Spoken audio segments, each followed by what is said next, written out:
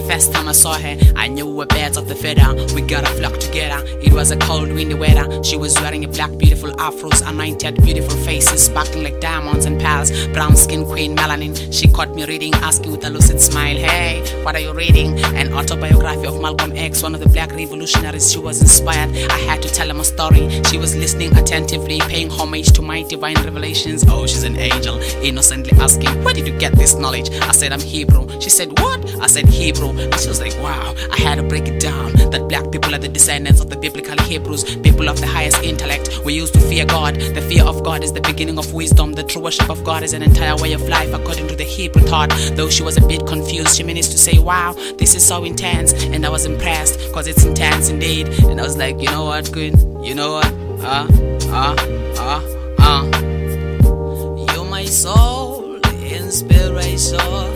Yeah, yeah.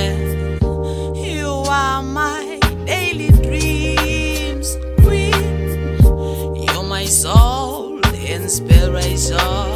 Yeah, yeah.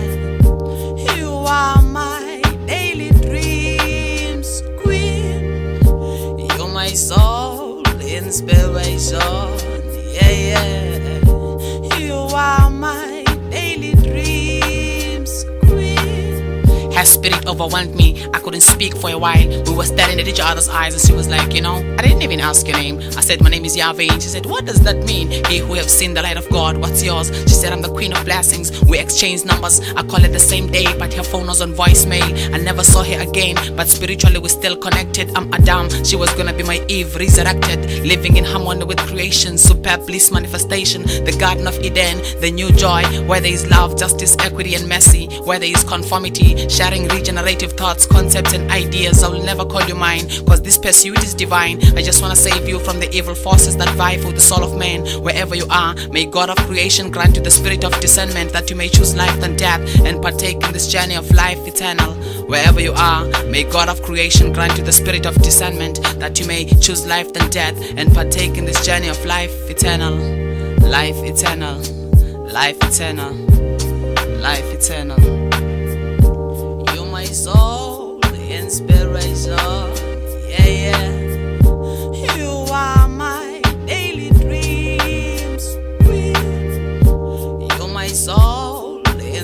Inspiration. Yeah, yeah.